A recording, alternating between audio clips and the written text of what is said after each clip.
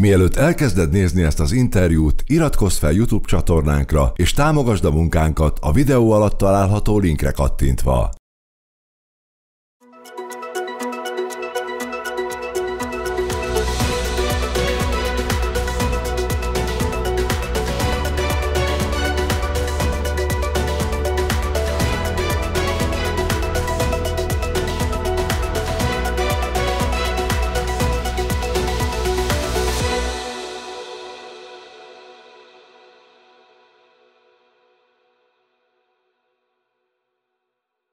Jó napot kívánok, Bolgár György vagyok. Ez itt a tíz, amelyben tíz kérdést teszek föl meghívottamnak, aki ezúttal Margó Béla, az RMDS volt elnöke, volt miniszterelnök helyettes, költő. Szervusz!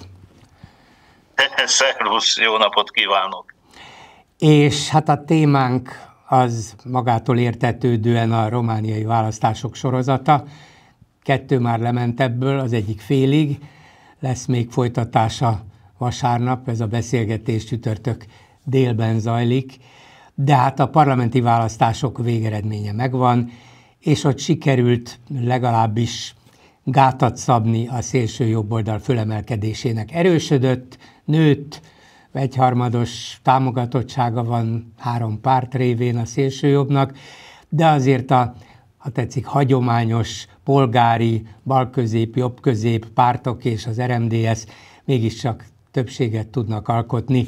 Kitérünk majd erre is részletesen, de először vizsgáljuk meg onnét a dolgot, hogy azért ennek a választás sorozatnak számos fontos szempontja van. Egyrészt a romániai helyzet, milyen az, hogy mi vezetett idáig, a másrészt a magyar kisebbség helyzete, nagyon bizonytalannak látszott, aztán a választás sokkal jobban sült el, mint sokan várták, jól lehetett mozgósítani, tömegeket, a harmadik az ukrajnai háború, az orosz befolyás, és a negyedik az Európai Unióhoz és a NATO-hoz való viszony. Szóval sok mindenben megrendülhetett volna, és talán még az elnökválasztás második fordulójától függően meg is rendülhet, de mi vezetett idáig? Kezdjük a romániai belső helyzettel. Itt mindenki azt mondta, hát Románia olyan gyorsan fejlődött az elmúlt években, gazdaságilag a demokrácia is kitartott, úgy látszott, mintha nem volnának óriási problémák. Pedig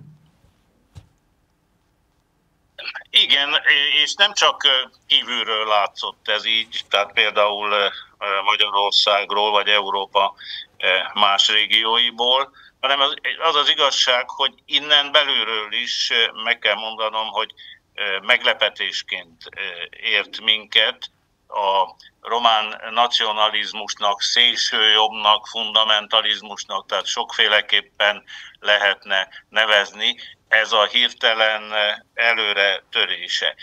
Mert mi is úgy láttuk, hogy Románia az utóbbi években, vagy évtizedekben így is fogalmazhatnék, valamiféle jó tanulójává vált az európai integrációnak, és az úgynevezett euróatlanti integrációnak, tehát beilleszkedett a NATO-ba, beilleszkedett az Európai Unióba, és ráadásul a számok is azt mutatták, hogy Románia azért hát életszínvonal szempontjából elég sokat haladt az utóbbi időben.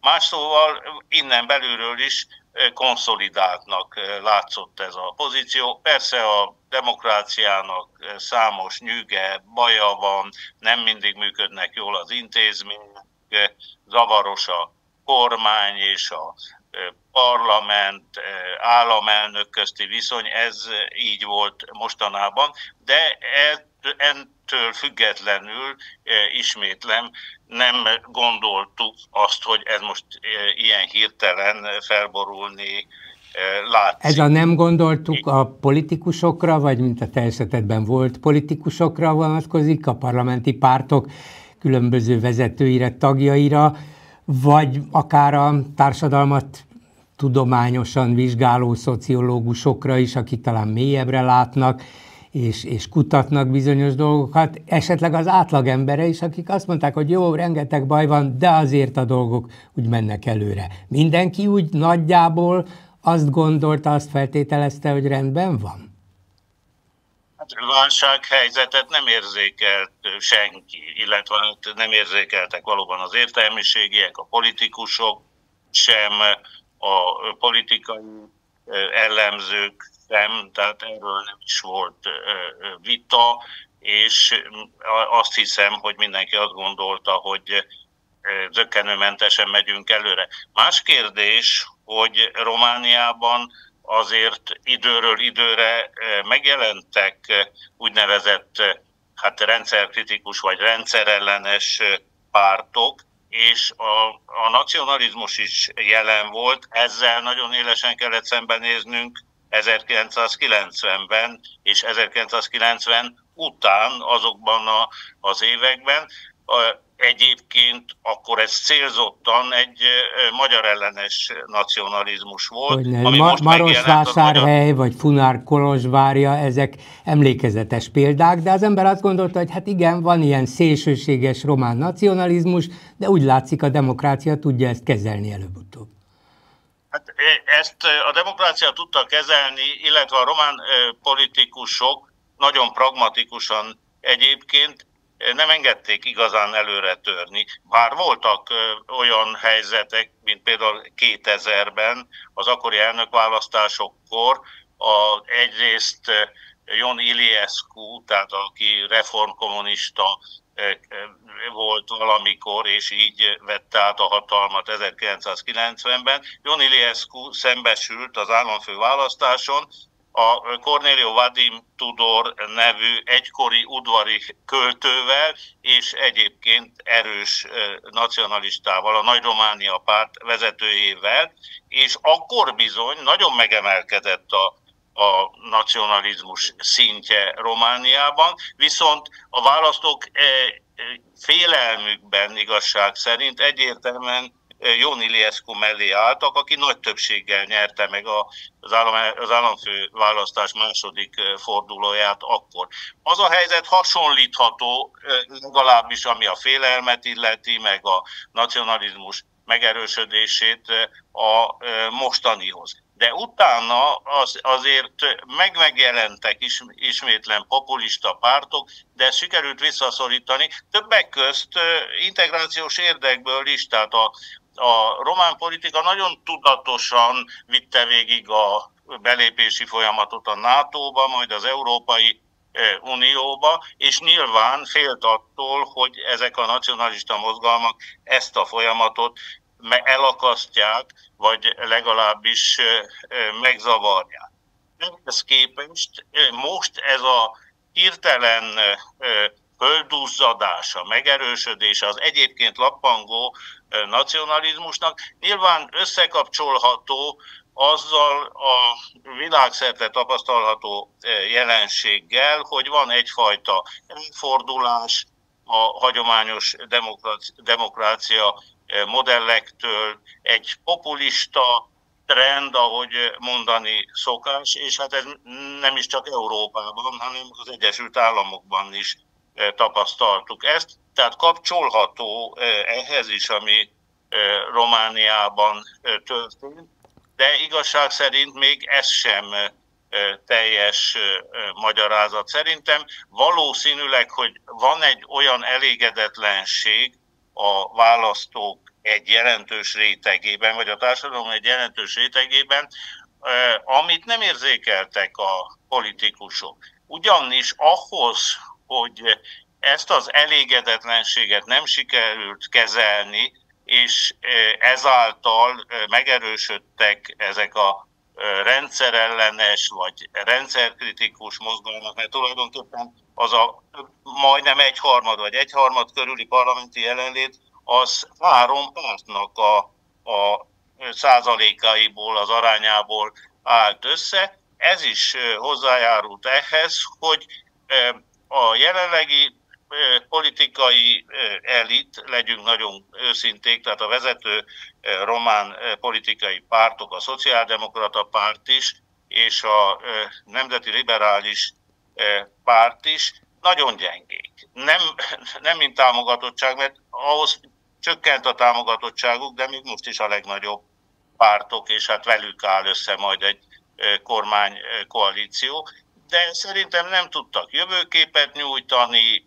nem tudnak programot kínálni, az kifulladt, ugye, hogy be kell lépnünk az Európai Unióba, be kell lépnünk a NATO-ba, ez már megtörtént rég.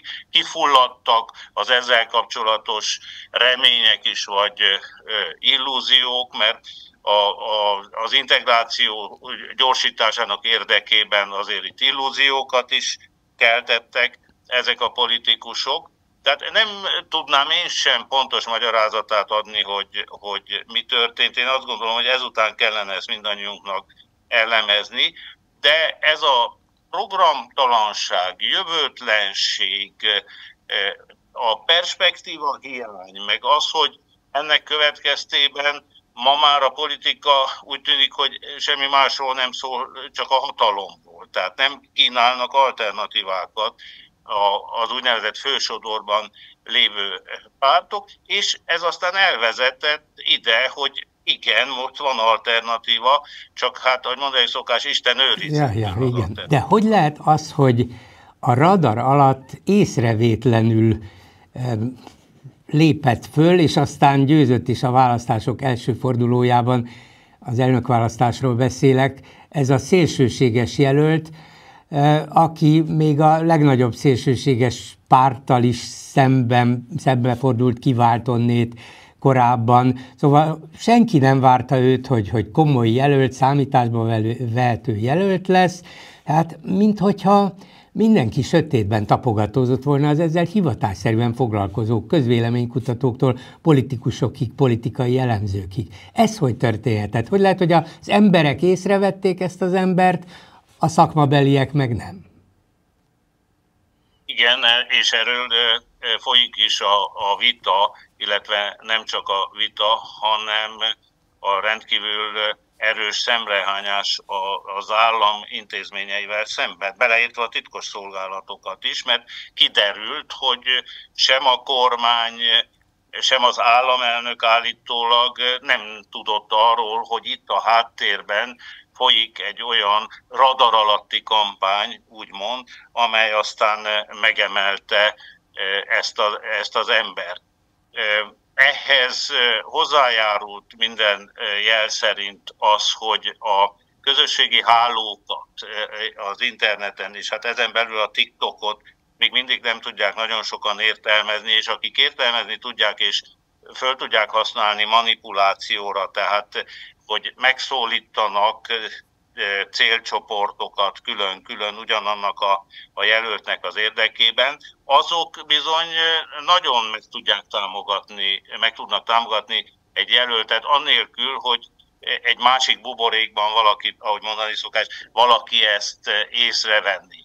Tehát itt, és ezt úgy nagyjából aztán utólag ki is derítették, csak nem tudom, hogy miért nem derítették ki idejében, hogy a TikTokon zajlott egy ilyen kampány. Nem beszélve arról, hogy hát a kampány az pénzbe kerül mindenütt, és minden állam megpróbálja ellenőrizni a kampány költségeket. Tehát nálunk is például természetes módon a jelölteknek számot kell adni a költségekről, és le kell jelenteniük a költségeket, sőt van egy felső határ is. Ez a jelölt, akiről most beszélünk, ez a Kalin Georgescu, nulla költséget jelentett le, és ez sem tűnt fel senkinek, vagy ezzel sem foglalkozott senki. Tehát itt azért súlyos mulasztások vannak, tehát hogy nem egy fillért, két fillért, egy lejt, két lejt, hanem egy nulla költséget jelentett le. Aztán utólag kiderült, most közzétették a legfelsőbb védelmi tanácsnak a, az elemzését ezzel kapcsolatosan. Ez az, az államelnök választás első fordulója után ült össze a legfelsőbb védelmi tanács, és kiderült, hogy hát millió eurós nagyságrendű támogatása volt ennek, ennek az embernek, és azt is vég, végigkövették, hogy kitől kapta ezeket a támogatásokat, nem beszélve arról, hogy hát azért az is szóba kerül, hogy orosz befolyás is van mögötte, és orosz támogatás is, többek között ebben a, a TikTok kampányban. Másrészt meg most már köztudott, de azért senki sem tudta, hogy az ortodox egyházon belül nagyon sokan támogatták ezt a jelöltet, tehát templomokban, miséken népszerűsítették, mert hát ő egy ilyen misztikus, miszticista, hogy így fogalmazok, üzenetet is fogalmaz a maga sokféle és egyébként rendkívül zavaros üzenet csomagjában. Tehát lehet, hogy, elég, lehet, hogy elég miszticistának, misztikusnak lenni, megfoghatatlan fogalmakkal dobálózni, nagyon románnak lenni, románabbnak, mint a többi politikus, elég szidni a rendszert, hogy micsoda rendszer ez, ugye kisemmizettek vagytok, ugye nincs beleszólásotok semmibe, majd én, aki erős ember vagyok, aki judózom, aki lovaglok, aki úszom, aki tudja, hogy mi itt a baj, és majd erős kézzel meg fogom rendszabályozni a dolgokat, pont elég ennek a TikTok és hasonló közösségnek és közönségnek, amelyik nem nagyon törődik valószínűleg a politika mindennapjaival, de azt mondja, hogy kell egy olyan ember, aki jól odacsap, és pont megjelenik egy ilyen ebben a TikTok sorozat műsorban. Így van, és meg kell mondanom, hogy én ugyan nem vagyok híve annak, hogy, hogy a vélemény szabadsághoz valami módon hozzányúljunk úgy általában, de például ez a jelölt, és ez véleményem szerint egy választás esetében teljes képtelenség, mert a választás mégiscsak a demokráciáról szól. Többek között például olyasmiket hirdetett, hogyha ő lesz az elnök, akkor itt Romániában többé nem lesznek politikai pártok. Tehát politikai pártoknak, pártokra nincsen szükség, és ezt én magam is hallottam, az ősök szelleme segítségével, mármint a román ősök szelleme segítségével kell majd vezetni az országot, és kell majd kormányozni. Na most ezek hatalmas örültségek, de ugyanakkor, hogyha jobban megpiszkálom, ráadásul hát alkotmány és törvényellenes kijelentések is, és ez sem, ezzel sem foglalkozott senki. Tehát azt kell mondanom, hogy itt igen, a, a látható politikának a hatalmas mulasztása és hatalmas gyengesége, hogy egy majdnem mindvégig láthatatlan jelölt ekkora támogatásra tehetett szert, és az megint más kérdés, hogy azt is ismétlen meg kellene nézni, hogy, hogy honnan ez a, ez a messiás várás, és mit tette szükségessé a társadalom egy részében ezt a e, messiás e, várost. Igen, hogyha mondom néhány nappal a második forduló előtt beszélgettünk, de bizonyos értelemben akármit e, mondasz, az majd érvényes lehet vasárnap után is. Ha Georgescu megnyerni ezt a választást, mi lesz Romániával, hogyan tud ő elnökként befolyást gyakorolni a román politikára, és hogyha az ellenfele a jobb-közép beállítottságú Elena Lasconi győz, nyilván a, a demokratikus pártok támogatásával feltételezem így lesz, hogy a szavazóik is hallgatnak el rájuk, ezt nem tudom, akkor hogyan folytatódik vagy változik a román politika? Na most még ennek a jelöltnek, a Kalin Georgescu-nak a retorikájához még annyit fűznék, fűznék hozzá, hogy tulajdonképpen sajnos magyar választók is vannak, akik, akik hát elszédültek, vagy elkábultak ettől a retorikától. Én remélem, hogy nem sokan, de magyarok körében is. Hát, azt gondolják, hogy menjen az egész politikai elit a pokolba. Tényleg, elég volt belőlük. Igen, igen, és igen, és ráadásul itt azért van egy másik nagy gond, az, hogy a magyarországi kormánypropagandából és az ottani ugye szokásos retorikából az itteniek is átvették a nyugat ellenességet, az Európa ellenességet, meg az ehhez hasonló szlogeneket, és hát ez az ember azon kívül, hogy szerintem teljesen őrült, és ezt, ezt ki kell mondani, ez az ember nyugat ellenes és, és Európai Unió ellenes, Brüsszel ellenes, itt szuverenitást hirdet meg mindent az égvilágon, és úgy tűnik, hogy sokan nem tudnak a miénk közül sem különbséget tenni, hogy igazság szerint, igazság szerint miről van szó. Na most persze én nagyon remélem, tehát itt az RMDS is egyértelműen kampányol, egyértelműen a másik jelölt Elena Lasconi mellett tette le a voksát, úgymond, és én nagyon remélem, hogy nem lesz ez a Colin Georgescu elnök, ismétlem, amúgy is itt komoly alkotmányossági problémák vannak ezzel az egész kampányjal, meg, meg minden egyébben. Hogyha igen, és hogyha egy olyan ünök van, aki szét akarja verni a demokratikus berendezést, akkor arra eszközei egyedül nincsenek, hogy ezt megtegye, de az, hogy, az, hogy leállítson bizonyos folyamatokat, hogy végtelenül megnehezítse a parlament dolgát, hogy, hogy visszaszorítsa a kormány vagy a parlament szándékait, vagy legalábbis lelassítsa, arra van ereje. Ugyanis itt nálunk az államelnöktől függ az, hogy ki a titkos szolgálatok vezetője, tehát a belső vagy külső hírszerzés vezetője. Az államelnöktől függ az, hogy ki a főügyész és kik az, ügyész, az ügyészek, tehát az igazságszolgáltatásba is nagyon keményen bele tud szólni.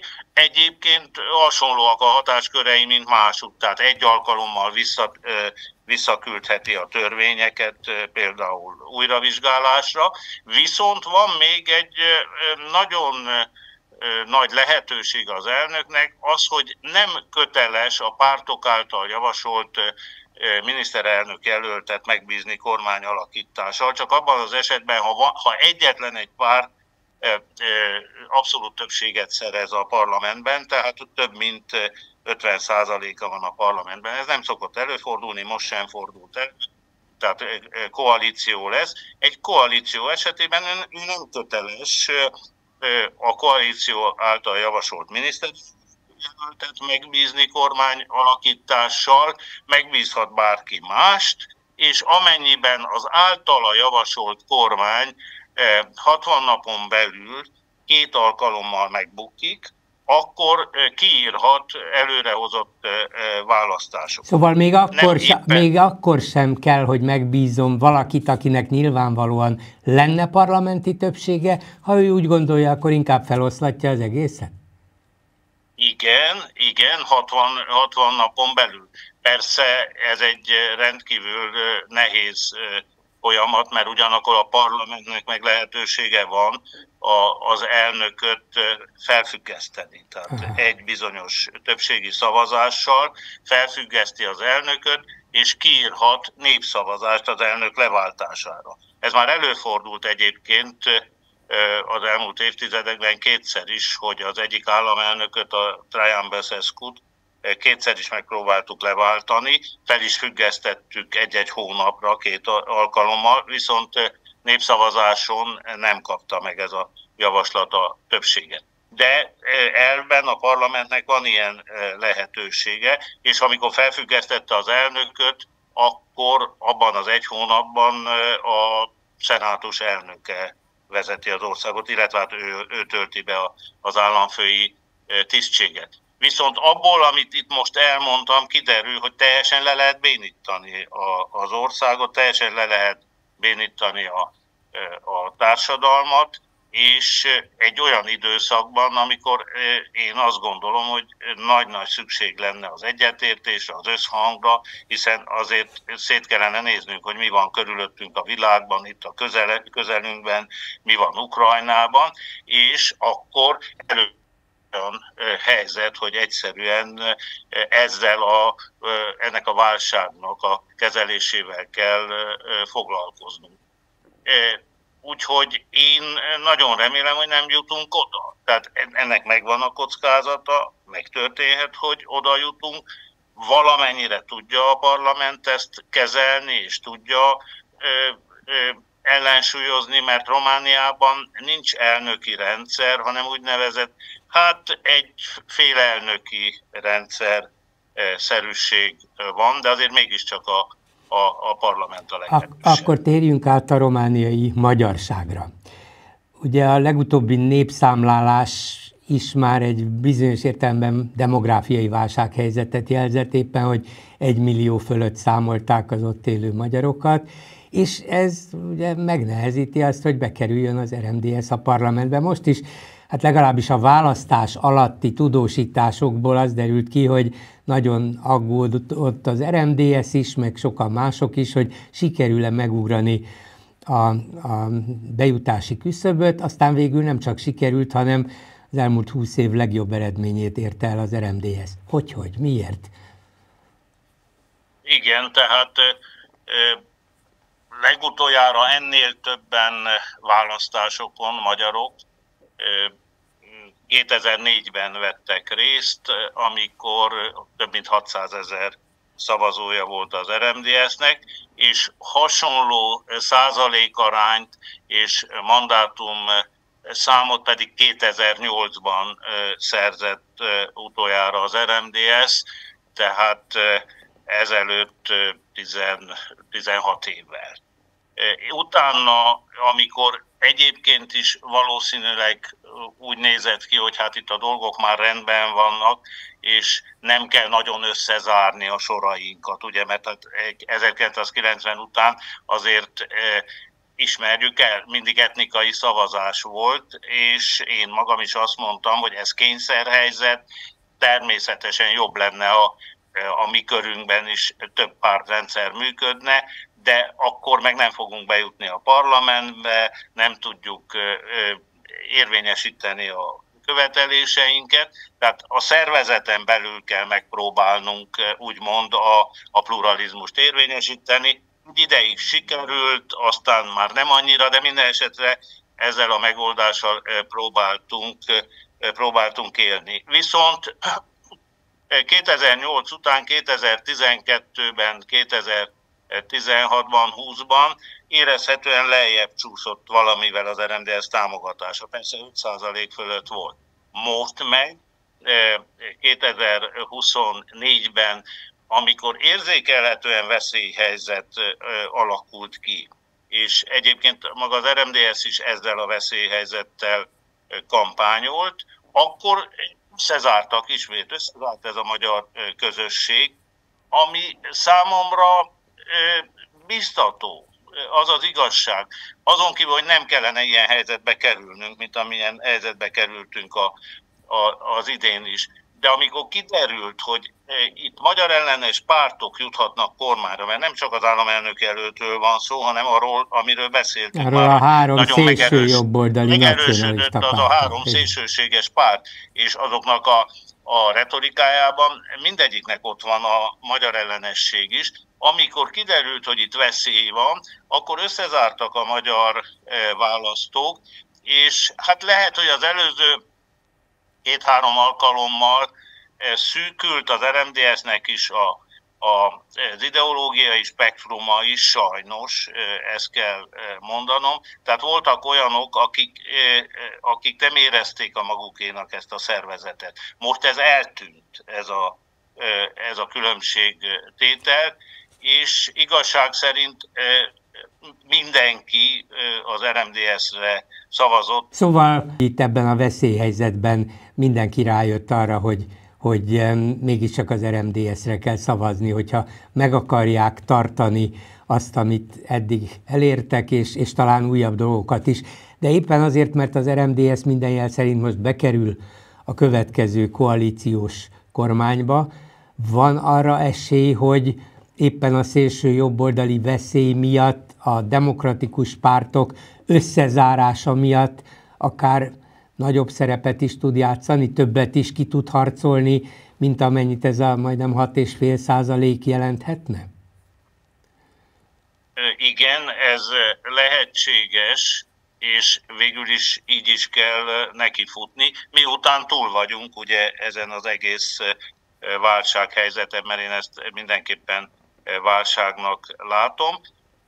Viszont ez a koalíció mindenképpen hát nem csak sokszínű lesz, hanem nehéz koalíció. Van benne lesz benne, mert hát még hivatalosan még nem alakult meg, ahhoz kell majd kormány, minden. Van benne egy szociáldemokrata párt, van benne egy úgynevezett nemzeti liberális párt, amely hát jobboldalinként határozza meg magát, és egyébként az Európai Néppártnak a, a tagja, a Szociáldemokrata Párt az a Szocialista Internacionáléban van, és hát van egy úgynevezett progresszív párt, ez a Mentsétek meg Romániát Egyesület, így, így nevezik ezt a pártot, az Elena Lasconi pártja, amely viszont szintén középjobbként definiálja önmagát, de különbözik alapvetően a liberálisoktól is, és különbözik a szociáldemokratáktól is. És akkor még ott van az RMDS, ezek közül a legtöbb RMDS, mert mi nem és nekünk nem is szabad beszorulni egyetlen egy ideológiában. Ha van összeférhető program, ha a programpontjaink közül el tudjuk fogadtatni mi is a lényegeseket, akkor egy, együtt tudunk működni baloldallal is, jobb oldallal is. Ez így volt régen. De ez egy nehéz koalíció lesz, nehéz lesz programot kidolgozni, viszont igen, van esély arra, hogy azért mi is érvényesítsük a, a céljaink egy részét, úgymond. Tehát ne csak megvédjük az eddigi vívmányokat, az eddigi eredményeket, hanem lépjünk is előre. Értem.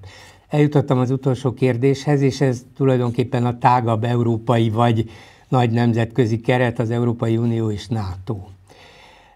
A Romániának hát egyrészt azzal, hogy már jó néhány évvel ezelőtt belépett az Európai Unióba, most valószínűleg a Schengeni övezetnek is tagja lesz, tehát lényegében eljutott oda, ahova a régebb óta tagországok is, a reputációja Európában és a NATO-ban egyértelműen nőtt. Valahogy úgy tekintettek rá az európai vezetők is, az európai vezető politikusok, az európai nagyhatalmak is, az Egyesült Államok is, hogy Romániában meg lehet bízni, románokra lehet számítani, és ez akár az ukrajnai háborúval kapcsolatban, akár nemzetközi kérdésekben, európai kérdésekben is úgy látszott, még ha az államelnök, aki képviseli Brüsszelben Romániát, ez esetben még Klaus Johannis, hát sokszor nem egészen kiszámítható módon viselkedett, de Románia nagyjából egy olyan úton ment, amire azt mondták a nyugatiak, hogy ez nekünk rendben van, és ez egy fontos, erős szövetséges, egy kényes földrajzi helyen. Ezt lehet tovább erősíteni, folytatni, vagy ezzel a belpolitikai zűrzavarral, felfordulással ez, ez az út nehezebben járható. Az az igazság, hogy eh, említetted a most leköszönő államelnököt, Klaus Johannis, meg kell mondanom, hogy ő még ki sem használta azt az esélyt, eh, amelyet megkapott eh, ezelőtt tíz évvel, amikor első alkalommal megválasztották. Tehát mindannyiunk számára csalódás az ő nemzetközi jelenléte is, és egyébként is a teljesítménye. De igen, én is azt gondolom, hogy említettem is az előbb, hogy Románia valamiféle jó tanulóvá vált, és nem véletlen az sem, hogy ebben a pillanatban például, például a NATO-nak két erős pillére van Európának ebben a részében, Lengyelország és, és Románia. Nos, ennek tovább kellene mennie, de szerintem nagyon sok rosszat tett Románia hitelének az, ami most történt, és nem csak, csak nem is az, hogy, hogy hát egy nacionalista jelölt végigment a választási folyamaton, és úgymond részt fog venni a második fordulóban, ne adj Isten, nyerni is fog, hanem az, hogy hát ez teljesen váratlan volt, és hogy maguk az egyébként hát dicsért és elfogadott román intézmények sem vették észre, hogy itt mi történik. Tehát szerintem ez hitelvesztés, ez, ez érezhető a külföldi sajtóból is. Éppen azt hiszem, hogy a tegnap a, a, az Egyesült Államok külügyminisztere adott ki egy szokatlanul, külügyminisztérium adott ki egy szokatlanul kemény közleményt azzal kapcsolatosan, hogy ez hogyan fogja érinteni a két ország, a két állam, tehát az Egyesült Államok és Románia kapcsolatait, politikailag, biztonságpolitikailag is, és gazdaságilag is, ha itt valami bor. Tehát azért nem mindegy, azt hiszem nemzetközi szinten sem, hogy mi történik Romániában. Van hitelvesztés, de még nem akkora, hogy ezt ne lehessen visszaszerezni. Markó Bélának köszönöm szépen. Én is köszönöm. Német Péter vagyok. Bánó András vagyok. Vogyarák Anikó vagyok. Bolgár György vagyok. Lampi Ágnes vagyok. Az a kérésem, hogy iratkozzanak fel a YouTube csatornánkra. Ha tetszettek a videóink, akkor lájkolják és osszák meg ezeket. Várjuk véleményeiket, hozzászólásaikat a videó alatt. Kérem, támogassák a Klik TV-t. Nagyon szépen köszönjük az eddigi figyelmüket, és tartsanak velünk továbbra is.